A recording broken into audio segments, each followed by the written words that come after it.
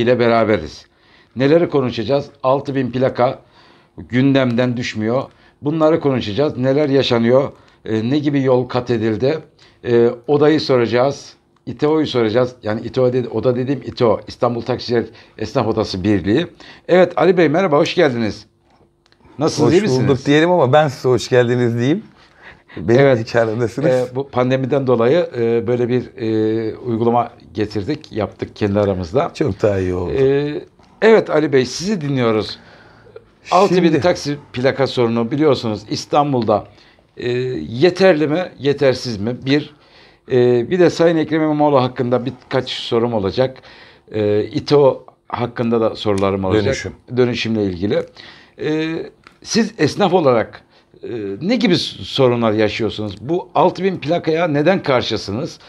Daha önce de program yapmıştık sizinle. Evet. Aslında aynı şeyler tekrar tekrarlıyormuş gibi geliyor. Oluyor. Bit, bitmek bilmeyen taksici esnafının çilesini ben birebir sizinle söyleşi yapmaya geldim. Şimdi Ali abi öncelikle teşekkür ediyorum. Ta buraya kadar geldin. Ayaklarınıza sağlık.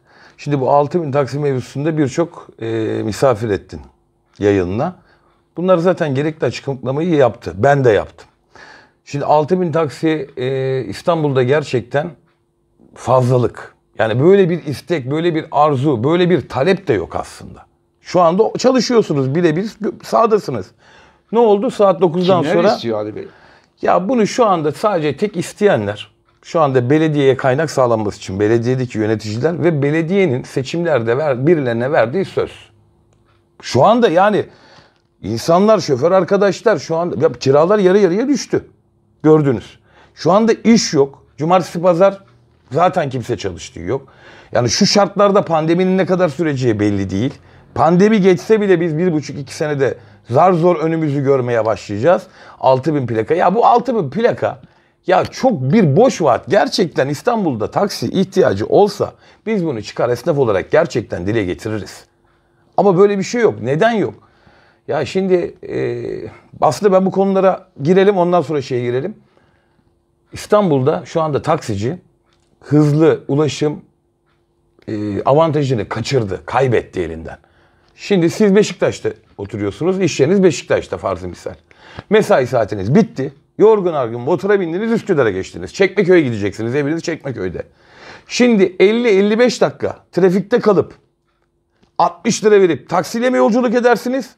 Yoksa 3,5 lira verip metroyla 17 dakikada gitmeyi mi tercih edersiniz? 32 dakika civarında bir zaman kazanıyorsunuz. Büyük bir zaman. Paranın satın alamadığı tek şey zamandır. Ne yaparsınız Ali Bey? Taksiye mi binersiniz? Metroya mı binersiniz? Bana söyleyin.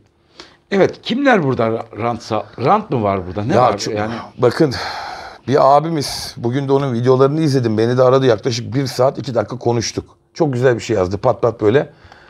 E, 6 bin taksi şu kadar kira alsam aylık 35 trilyon para ediyor eski parayla. Şu anda 35 milyon aylık sadece. Muht muhteşem bir rakam.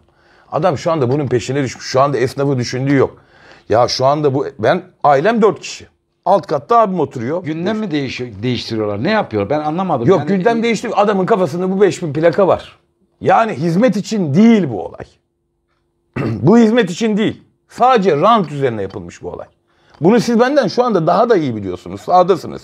Var mı İstanbul? Ya şu ana kadar yanınıza, yayınınıza 50 kişi katıldı. Bir kişi dedi mi İstanbul'a taksi ihtiyacı var. Şey e, eksik diye. Bir kişi net bir cevap vermedi sizin yanınızda. Yayınınızda. Ya- yani Sayın Ekrem İmamoğlu ben e, parti güdümlemiyorum burada. Bu 2013'te e, AK Parti döneminde hazırlanan bir dosyaydı. Ben bunu e, ivedilikle takip ediyordum. E, kimseye bir şey anlatmıyordum. Ama bu olayları takip ediyordum. E, sizin odanız var biliyorsunuz. E, odaya kayıtlısınız. Değilim. Ben Ümraniye odaya kayıtlıyım. Fark etmiyor yani sonuçta bir o- oda bu oda var yani. Oda Şimdi şöyle bir şey. Birçok esnaf arkadaş farklı odalara kayıtlı olabilir. Ben buradan çağrıda bulunuyorum. Aslında bizim odamız İstanbul Taksiciler Esnaf Odası'dır. Şu anda minibüsün kayıtlı olduğu esnaf odalarından kaydınızı aldırın İstanbul Taksiciler Esnaf Odası'na kaydettirin. Benim bir sözüm var. Ben asla sözümü hiçbir zaman yere düşürmedim.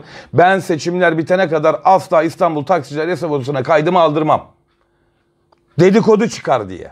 Yönetime mi girmek istiyor şöyle mi benim hiçbir öyle beklentim yok. Ama bu UKM'deki toplantıda gördüğünüz minibüsçüleri falan o odalarda durmak ihanettir.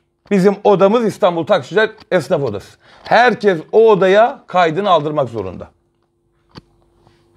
Başka soracağınız? Ee, Ali Bey alt, yani 6000'e takılıyorum. Yani e, 5000 taksi plakası 250 şimdi Dolmuş. dolmuş 750'si de minibüs. minibüs. Ee, böyle bir yasada böyle bir şey var mı? Böyle bir Şimdi 10553 üzerinden gidersek Ali abi 10.550 burada her şeyin. Bakanlar Kurulu'nun kararında ben e, açık açık çoğunu okudum. Şimdi 10.553'te plakanın veriliş ve usul ve esasları orada bellidir. İhale kapalı zarf. Bu şey başka bir hiçbir türlü bu havuza tek bir araç giremez diyor. Şimdi çok güzel bir konuya gelince zaten konumuz aslında bu dönüşüm olayı. Ben bunu A'dan Z'ye şöyle bir 15-20 dakikanı alarak size de geri dönüş yaparak ben anlatmak istiyorum. Bu konuda tehditler alıyorum ben şu anda. Sıkıntı yok. Ben baştan sona anlatayım. Şimdi bakın. Biz zamanında bundan iki sene evvel Uber'le savaşırken bazı gruplarla kahvaltılar falan yapıyorduk. Bu kahvaltıların birinde Çamlıca'da bu kahvaltıların birinde toplantımızı yaptık. Kahvaltımızı ettik dağılırken bir 5-10 arkadaş kaldık. Bunların içinde de bir arkadaşımız var dolmuşçu. İsim de verebilirim sıkıntı yok yani. Hem taksiti var hem dolmuşu var. Orada bir laf attı ortaya. Tabii bunlar hafif hafif söyleniyordu öyle pat diye söylenmiyordu da işte dolmuşlar dönsün. Söylemleri de şu. Ya bizim lüks taksiye ihtiyacımız var. Biz bu dolmuşlarla bu olayı kapatalım. Yani Uber var, biz olalım. Bunların söylemi ilk böyle çıktı. Biz tabii orada biraz hararetli ama kimseyi kırmadan bir tartışma yaşadık. Arkadaş dedi ki lanet olsun dedi. Ben dedi dolmuşumu, taksimi pardon satacağım. Dolmuş alacağım. Dolmuşun geleceği çok parlak dedi. Şahitlerim var. Satarsan sat dedim. Bir tane de çok sevdiğim bir abimiz var. Hepiniz tanırsınız. O da Ali dedi ki evet dolmuşun geleceği parlak dedi. Ya parlaksa şimdi nereye geldik biz? Hala taksinin peşindeler. Hala taksi, gözleri takside. Her neyse işte Uber olacağına biz olalım dediler. Seçim vaadiyle Uber'i Recep Tayyip Erdoğan bitirdi bir şekilde. Arkasından bu arkadaşlar şimdi bunlar bize ölümü gösterip sıtmaya razı etmeye çalışıyorlar. Korsan tabii ayyuka çıktı. Şimdi siz gelmeden evvel bir arkadaş bana mesaj atıyor. Ali diyor adamlar diyor aplikasyon yapmış diyor. Güzel de bir WhatsApp gibi değil. Bir mesaj kurmuşlar. Şimdi ekran fotoğraflarını da attı. Oradan yazıyor. Ya yazıyorum işte şu saatte havalarına gideceğim falan filan. Süper bir sistem yapmış adamlar ya. Ya bir de bugün haberlerde 900 tane korsan durak var. 900 tane. Ben bunu Eyüp Hapsi'ye söylediğim zaman abartıyorsun dedi ya. Başkasının söylemiyle gelme bana dedi. Abartıyorum. Bir piyasayı dolaşsın. Ayyuka çıktı korsan. Korsan dedi geleceğe ne dedi? Biz gelelim dedi. Uber bitti ya. Başladılar bu söyleme. Korsan nasıl biter biliyor musunuz Ali Bey? Çok ağır cezalarla, öyle böyle değil, çok ağır cezalarla ve sürekli denetimlerle biter. Yoksa bin tane şuradan araç alayım, 500 tane şuradan dönüşümle alayım. Bunlar olmaz. Bunlar zaten hukuksuz. Hadi bunu da geçtik. Baktı ki yemedi. Ondan sonra bu İBB'nin 5000 plaka mevzusu çıktı. Ya dedi hani bu plakalar geleceğine hazırda olan minibüs ve dolmuşlardan dönüş olsun. Onlar geleceğine biz gelelim. Başladılar bu söyleme. Velhaskelam işte e, ondan sonra elimize bizim bir rapor çıktı düştü. Şimdi rapor İstesop'a yazılan bir rapor. Bu dönüşümü destekleyen kişilerin. Ali Bey oraya geleceğim. Şimdi Sayın Ekrem İmamoğlu seçilmemişti. E, Yoksa- Odayı ziyaret etti. Ziyarete geldi. Sayın Evi iyi baksık orada hastalanmış, rahatsızlanmış. Onların bahane Ali. Ali abi onların hepsine Şimdi oraya geleceğim. Ee, hızlı orada, gitmeyelim. Orada Sayın İba, e, Ekrem İmamoğlu e, böyle bir talepte bulunmamıştı. 5000 yani böyle bir plaka verilmiyor. Veri- verelim işte istiyorlar falan bizimkiler de orada alkışladı falan Evet, filan. şimdi burayı ben e, tam anlayamadım bu konuyu. Hem isteyip hem e, bir takım bana belgeler gönderiyorlar. İşte Ali Bey e, bunlar da okuyun diyorlar. İşte altlarında imzaları var. E, plaka Şimdi- çıkarılması için. Bu konuyla ilgili şimdi hem plaka isteyip hem e, karşı gelmek e, Ya Ali abi bak açık açık söyleyeyim. Beni bana gelen bilgiler böyle. Yok, yani ben esnaf şimdi beni bilir. Ben sözümün arkasında duran bir insanımdır. Olmadığı, olmayan bir şey de söylemem. Şimdi o toplantıda o söylemde Ekrem İmamoğlu bulundu alkışladılar ama ya o da aslında açık söyleyeyim. Bak odaya ben muhalefet kişiyim ama orada 5000 plaka yani plaka istemediler. Oradaki o ambiyansta o söylemde bir alkış oldu. Yanlış mı? Yanlış. Yalnız şu olayı kaçırmayalım. Şu dönüşüm olayını bitirelim. Şimdi bu dönüşüm olayında e, ortaya atanlar yeni nesil taksiciler diye bir kooperatif var. Onlar attı. Biz de o zamanlar Uber'le savaşıyoruz, uğraşıyoruz. Ama bu arkadaşlar da arkadan bizim kuyumuzu kazıyorlar. İstese oraya rapor gönderiyorlar. Ya Bizim de çevremiz geniş, sevenlerimiz de çok. O rapor bizim elimize düştü. Şimdi o raporun 7. maddesinde ben bunu niye açıklıyorum? Bu tabii e, bundan 6 ay evvel falan bu minibüslerin dönüşümü falan gündeme gelince e, bunların başkanları biz dedi minibüse dava açarız biz buna karşıyız dedi. Şimdi ben bir da belgede e, maddeleri okuyacağım. Bunların kendi kaleminden çıkmış bu. Yedinci madde. İstanbul'da İBB kayıtlarına göre 572 adet özünde ve ruhsatlarında taksi yazan taksi dolmuşlar mevcuttur. Bu araçlardan bir kısmı arkadaşlar burayı iyi dinleyin. Bir kısmı yani parantez içinde 40 adet. O tarihte 40 adetti. Şu anda kaç? 250 değil mi? 40, 70, 100, 150, 250. Bunun sonu olmayacak. 572'ye doğru gideceğiz. 40 adet D segment olmaları kaydı ile taksi olarak çalışmak istediklerini İBB'ye aylar öncesinde bildirmişlerdir ve halen cevap, cevap beklemektedirler. Bu taleplerin onaylanmasının halinde araç kalitesinin artış ivmesine katkı sağlanacaktır diyor. Aynı raporun 10. maddesi burası çok önemli. Arkadaşlar bakın ben esnaf ağzıyla konuşuyorum. Herkesin anlayacağı dilden konuşuyorum. Bunlara kulak verin, bilin. Belediyemizin gayretli çalışmaları neticesinde İstanbul'umuzda toplu taşıma ağı hızla gelişmektedir. Ali abi iyi dinle. Toplu taşıma ağının bu gelişimi şehir içi ulaşıma önemli bir katkı sunan minibüsçü esnafımızı mağdur etmektedir. Dünya başkenti olma yönünde emin adımlarla ilerleyen İstanbul'umuzun turizm potansiyeli de bununla birlikte her geçen gün artmaktadır. Buna paralel olarak lüks taşımacılık talepleri gayri yasal yollarla sağlanmaya çalışılmaktadır. Minibüsçü esnafımızın, esnafımızın giderek şikayetleri artacağı aşikardır. Birliğimize bağlı odalarımızdan gelen öneriler ışığında mağdur durumda olan minibüsçü esnafımızın başkanlarıyla birlikte yapacağımız bir çalışmayla mevcut minibüslerden 500 şu anda 750 oldu. 500 adedin acilen %40 tarifiyle lüks dönüşümlerini sağlanmasıyla minibüsçü esnafımızın mağduriyeti giderilecektir diyor. Yani 500 tane minibüsü diyor ki taksi yapalım diyor. Sonra bu arkadaş diyor ki minibüsler taksi olursa ben buna dava açarım. Bu raporu biz anında okuduğumuz zaman Valide Bay öğretmenler elinde toplantıdaydık. Anında geldi bize WhatsApp'tan. Hemen aradık. Şimdi bakın benim şahitlerim de var. Şimdi bir şeyi inkar edeceksen ya dobro ol, dürüst ol kardeşim. Ben bunu iki kere sordum. Arkadaşımız aradı. Bunlar ince detaylar Ali abi. Bak bunların üzerinden pat diye geçmeyelim. Dedik ya Gıyasettin abi böyle böyle bir rapor çıktı elimize. Senin burada 7. maddeyle 10. madde minibüs dolmuşları var. Sen kime sordun dedik. Size sormama gerek yok dedi. Şimdi şöyle de bir cevap verebilirdi. Ya benim bu rapordan haberim yok. Benim alakam yok. Eyvallah olay bitti. Kapatırız. Ben dedi buna dedi kendi üyelerimle konuştum. Size dedi konuşmama gerek yok. Tamam mı? Size de hesap vermek zorunda değilim dedi. Telefonu da kapattı. Doğru hesap vermek zorunda değil. Biz soruyoruz.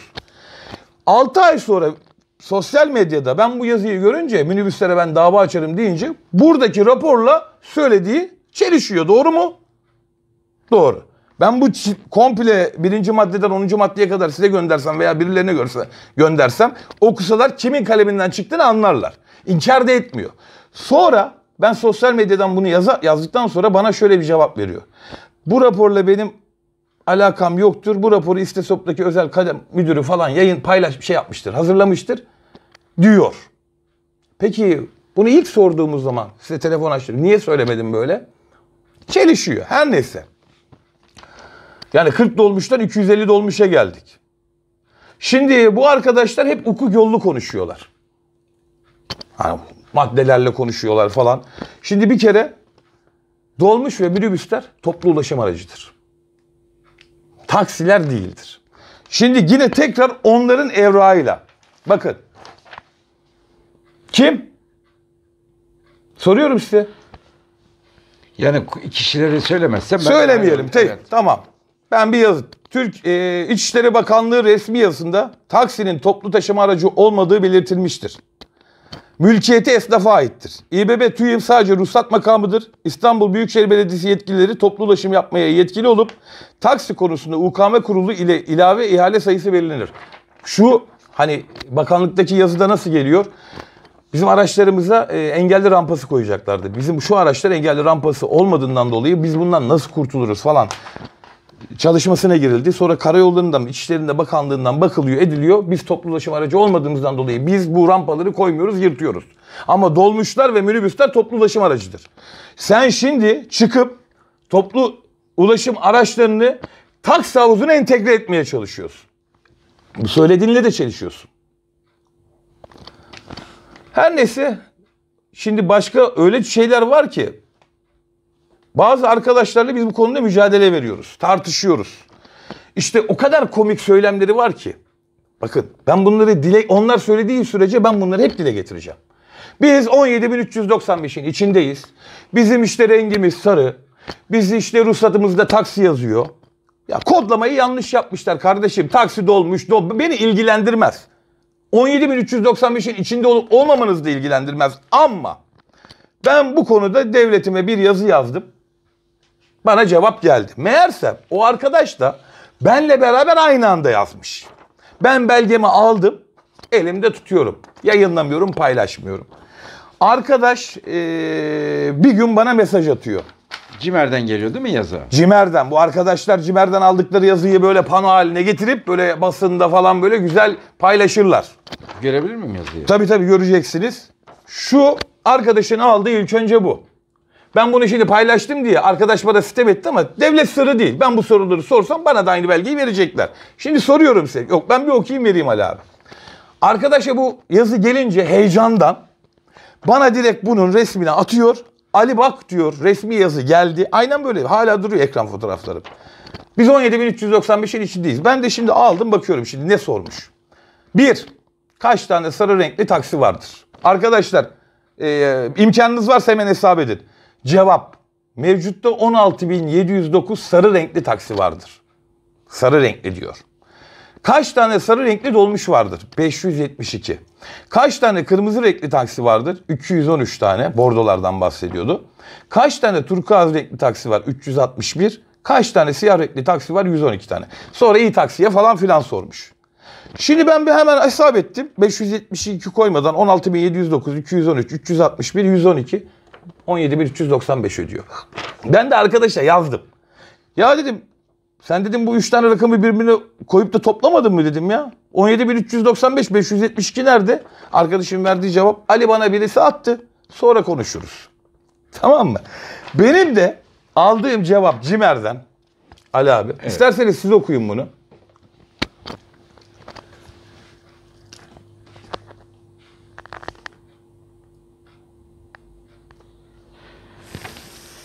E, bir direkt isminize gelmiş Sayın Ali Ketenci diye. Mevcut 17.395 adet, be- 572 adet taksi dolmuş mevcuttur. Bu e, 17.395 ayrı Evet. 572. evet 572 nedir Ali Bey? Be- dolmuş. 17.395 taksi, Evet. 572 Bu tane de dolmuş var. Taşımacılık tahdit kapsamına Alındıkları alındıkları yıla, e, yıldan itibaren taksi ve taksi dolmuş olarak ayrı plakalar plakalandırılmış bunlar aynen olup tarihten itibaren şu tarih şey yapın tarihten itibaren herhangi 1986. bir dönüşüm, dönüşüm söz konusu değildir. Burada e, şey koymuş. Dönüşüm söz konusu başvuru işte cimer falan Tamam. internet şey. Şimdi ne demiş burada, şimdi burada?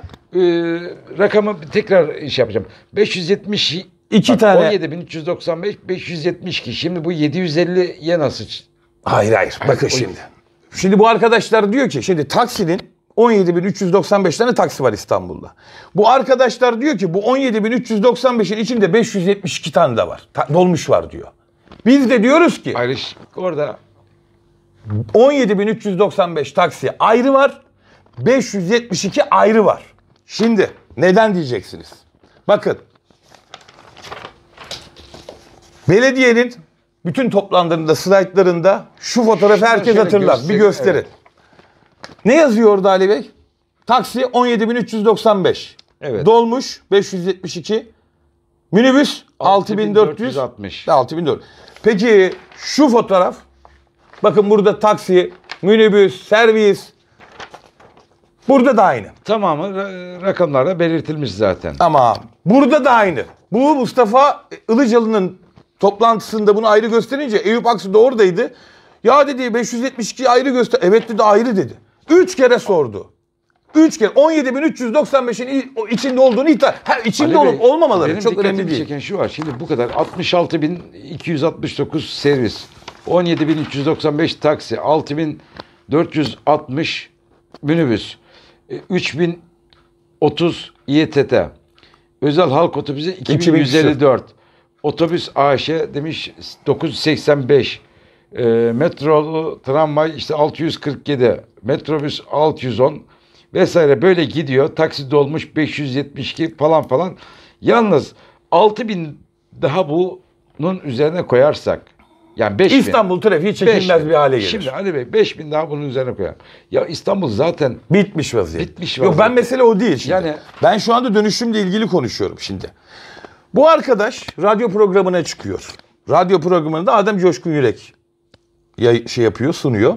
Ben WhatsApp'tan bu Cimer'den aldığım belgeyi atıyorum. Belge ellerine geçiyor, okumuyorlar.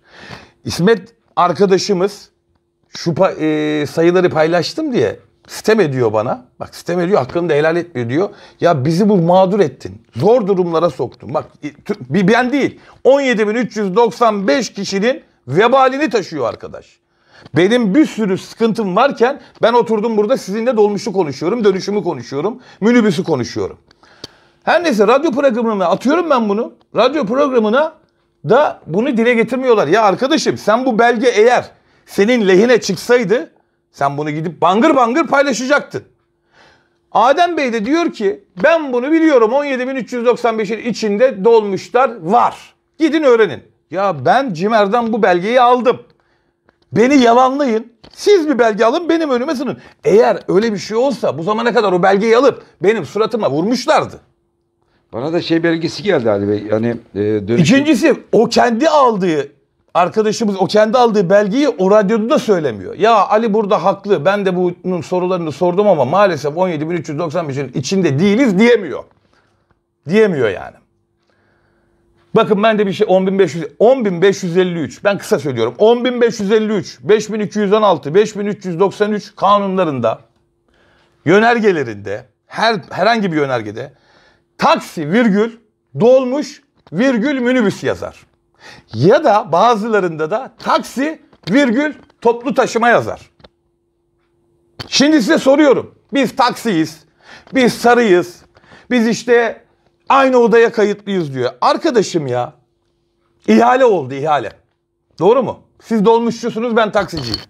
Taksi ihalesi oldu. O zamanın devleti beni mağdur etmedi. İhalenin %90 parasını bana verdi. Sen taksiciyim diye konuşuyorsun. Para aldın mı o ihaleden? Aynı sınıfta olmadığımızın bir kanıtıdır bu. Para aldın mı? Almadım diyor. Nasıl taksi oluyorsun sen? Taksi olsan alırdın. Bakın ihaleden para almıyor. İkincisi bu arkadaş gidiyor mahkemeye veriyor. Hani diyorlar ya burası hukuk devleti Türkiye'de hukuk devleti var diyor. Hukuka güveniyoruz diyor. Gidiyor mahkeme açıyor. Ben taksiyim taksiye döneceğim. Hukuk buna cevabını veriyor. Red. Hani hukuka saygımız vardı. Sen bu kararı aldıktan sonra başkalarının desteğiyle UKM'ye taşıyorsun. Ha yani demek ki Türkiye'de hukuktan yapamadığın şeyi arka taraftan dolaşıp tekrar önüne getiriyorsun. Neredesin hukuk, hukuka saygınız? Ali Bey. Şimdi 6000 plakaya e, 6000'i geç abi daha. 5000 evet e, 5000 yani bin dönüşümle ilgili e, kesinlikle diyorsunuz ben, ben biz buna karşıyız diyorsunuz. O da karşı mı buna? 5000 plakaya mı? Evet. Ya o Hayır, da karşı olduklarını söylediler. E, dönüşüme karşı mı? Dönüşüme karşı değiller. Neden? Şimdi evet çok güzel. Dönüşüme şimdi e, ben dolmuşçu arkadaşlarım var benim. Çoğu da e, dolmuş hatların başkanları. Bir tane abimiz var isim vermeyeyim. Geçen gün Facebook'ta bir paylaşımını gördüm. Biraz hani yani böyle abuk sabuk paylaşım görünce kızıyorum. Yani alt tabanını doldurmamışsın. Aradın. Ya abi dedim böyle böyle. Ali dedi bak dedi. Sen bu konuda haklısın dedi. Aynen böyle. Ya haklı olduğun bir davayı çok rahat savunursun Ali abi. O kadar rahat savunursun ki. Çünkü yalanın yok, dolanın yok, haklısın. Ama haksız olduğun bir davada rahat konuşamazsın. Bana dediği olay. Yönetimdeydi bu arkadaş aynı zamanda. Sayın Ekrem İmamoğlu Yönetimdeydi bu arkadaş. Bana dedi ki Ali dedi bak bu olayda haklısın dedi. Ama dedi biz de Eyüp'e gittik. Dedik ki ya bu konuda Ali haklı. Bu taksici esnafı burada mağdur olur. Yarın bir gün bizim de başımız ağrır. Biz dedi 572 dolmuş kendi arasında dolaşım serbestliği verirsin dedi. Yani sen Kadıköy Bostancı hattında mı çalışıyorsun? Bir hafta Nişantaşı'nda çalışacaksın. Ben Nişantaşı'nda çalışıyorsam Kadıköy'de çalışacağım. Öbürsü gün Yeşilköy'de bu şeyi istedi, serbestliği istediler. Buna destek vermedi. Dedi ki o zaman hatları dedi yeni hat oluşturalım. Bak bu dolmuşçu arkadaş. Bak bu konuda ben sonuna kadar destek veririm. Hatları oluşturalım. E o olabilir ama dedi Eyüp taksi duraklarına yakın olmasın dedi. Ya olsun arkadaşım. Taksi müşterisi ayrı, dolmuş müşterisi her zaman ayrıdır. Buna da yanaşmadı Ali diyor. Yani ne anlarsınız buradan? Ya ben dolmuşçuların şu andaki mevcut durumlarını iyileştirmeyeyim. Bu sıkıntılar büyüsün. Bunları ben dönüşüme odaklandırayım. Kimler tarafından ya dolmuşçu arkadaş ben dolmak istemiyorum Ali diyor. Alternatifleri çalışıyorum ama diyor olmuyor diyor. Emir almış o zaman diyor bir yerden diyor. Dönecek diyor. Bu şimdi dolmuşun dönmesi kime yarıyor? Bundan iki sene evvel bu dolmuşlar birileri tarafından toplandı. Biz bunları da biliyoruz. Bordolar da aynı şekilde. Keza ona da gireceğiz. Adam haklı. Yani o bakımdan dönüşüme müthiş şekilde o da destek veriyor. Biz odaya gittik. Hüseyin Kılıçöz, Osman Oruç, ya 5-6 arkadaş. Biz bu olayı anlattık. Burada yanlış bir şey var. Burada 17.395 taksici esnafını mağdur ediyorsunuz. Haklarını yiyorsunuz. Ne dedi biliyor musun? Ben dedi buna imza atacağım dedi. Destek de vereceğim. Gidin dedi mahkemeye verin dedi. Hüseyin Kılıç kapayı vurdu çıktı gitti.